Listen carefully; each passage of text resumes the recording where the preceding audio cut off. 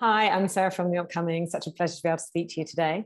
Um, hi, hi uh, maybe you can kick off with a brief introduction to this absolutely original and beautifully animated creative film, Luck. What can people expect if they don't know anything about it?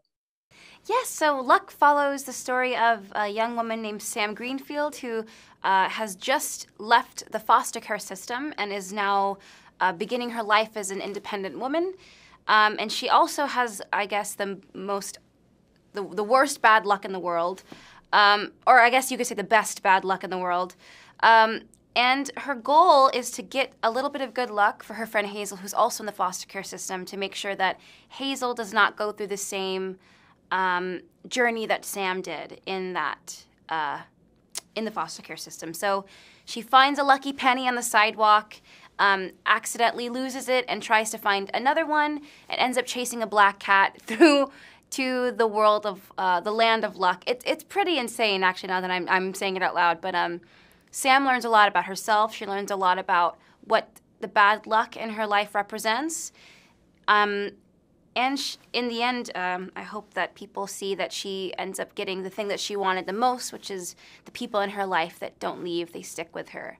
Of course, you come from a background in musical theatre. So I don't know whether it felt like quite a leap to kind of be voicing, um, you know, an animated character, but also, you know, how did you see this character? She's so um, formidable, really, in the sense that despite all her bad luck, she's just got this kind of eternal optimism. And of course despite the fantastical elements of the film it's very much rooted in the, the, real situation of being in foster care and all that that entails. So how did you prepare to play her and what was the experience like for you?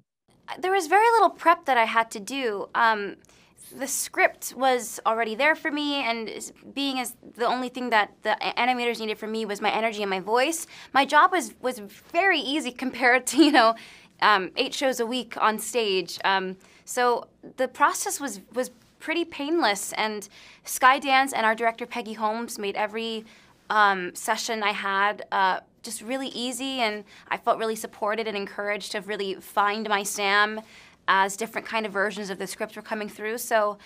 Um, we did. There were a lot of hours in the studio, but it was absolutely worth it because um, all of the the process and the work and the characterization of Sam, it just really played off. But you know, I I could only take so much credit because what you see and what you experience in the film is is is due is because of the genius of an entire team that really should be you know we should really see their faces too during these press events. But um, yeah, what a great script to begin with too and what an incredible cast to be working alongside. I mean, Whoopi ah. Goldberg, oh. Jane Fonda, you know, absolutely iconic women, but also these really hilarious comedians you got in, in Simon Pegg and Flula Borg. So yeah. I don't know how much time you got to spend with them, but it must have at least been a fantastic experience to be working on the same project with these people. Absolutely. I actually didn't spend any time with them. I didn't get to meet them or, or read any lines with them. And I, I literally met Flula today at like a two minute meeting, and I met Peggy Holmes yesterday for the first time ever. Um, I, I spent a little time with Simon.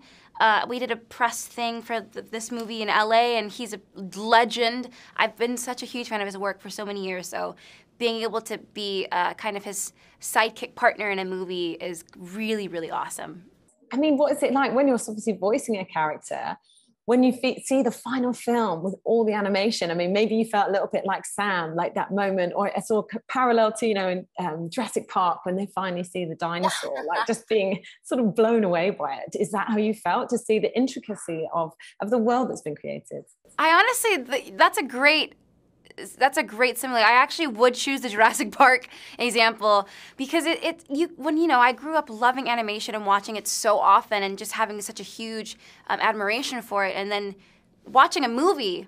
You know, it's a, it's a it's a very homey feeling, nostalgic feeling, sitting down and watching an animation. But knowing that it's something that you did, it, I, it's a feeling that I cannot even describe. And you know, we do so many takes of each line. You don't really know what's what it's going to sound like, what Sam's going to sound like. Like how her lines are going to play out. So it was all a surprise to me watching it because I'd never seen it before. So every detail that I'm reading in the script, I'm seeing and experiencing in the theater, and it's really is a crazy.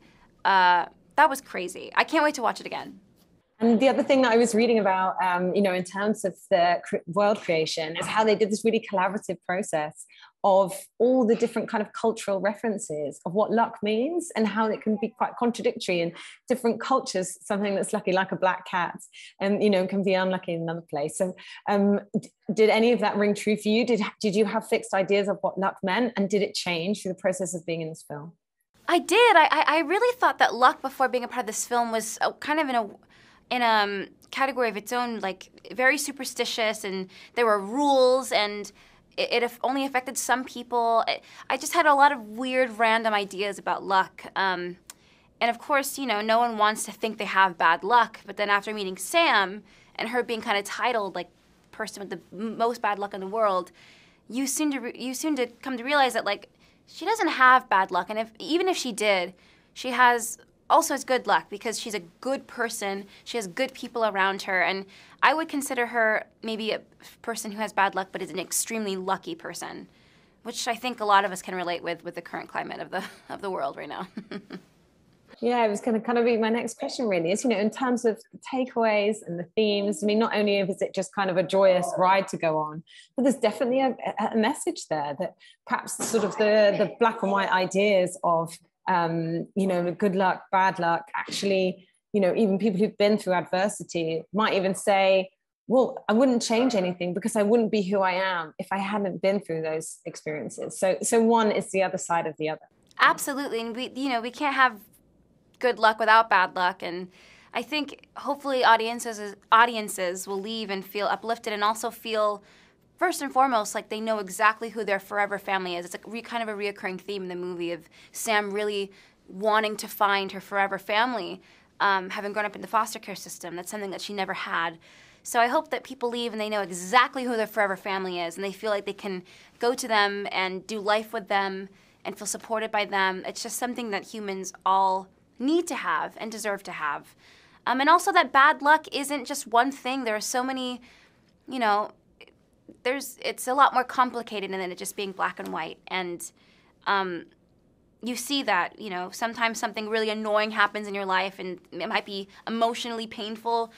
But then later down the road you know it ended up being something that was really great for you or it taught you a lesson or uh, it brought something to you that you didn't even think that you wanted. So um, none of us are fortune tellers. I mean, maybe we are. That's so cool if you are. I'm really impressed if you are a fortune teller. I'm not. So I can't. I can't say that bad luck only creates bad things. And definitely, if you feel like you have bad luck, it also does not mean that you're a bad person. I believe that as well. And of course, coming from musical theatre background, the music in the film must have been like a really key element for you, and it feels very important to the storytelling. So, um, what was it like, you know, being involved in such, you know, an incredible film in terms of the music? Yeah, well, I, I didn't know that there was going to be any singing in this film when I signed on. Um, they kind of just threw the idea out there in the during the process, and I was like, sure, you know, 30 minutes in the recording studio, and we we got it down. So that was a really fun day. And in terms of your own career, um, you know, have you got a taste for kind of doing this kind of work now? Um, are, you, are you taking your musical theatre work further? What's going to be next for you? I don't know how to take musical theater work or any work further. I don't believe that there's a, a there's a a goal for success when it comes to you know what projects to do as an actor. I just like doing things that I enjoy. Um, and that challenge me and that I really want to do. So as of now, I'm I'm doing eight shows a week. That's like what I that's my job. I'm so thankful to have a job, but um, so we'll see. You know, I I will say yes to any opportunity that I feel like is the right one for me. So we'll see what happens next. Do you have any particular musical theatre show or film director or role that you would like dream to play? Not really. I, I'm already kind of living the dream right now. I get to work at this amazing show and, and play opposite of my partner and so I, I, you know, I'm a very lucky girl to have the uh, the life that I have right now. Amazing. Well, thank you so much for sharing all that with us. Can't wait everyone else to see Luck. Thank you. Thanks so much. Cheers. Thank you. Thank you so much. Have a good rest of your day. Thank you. Yeah, you too.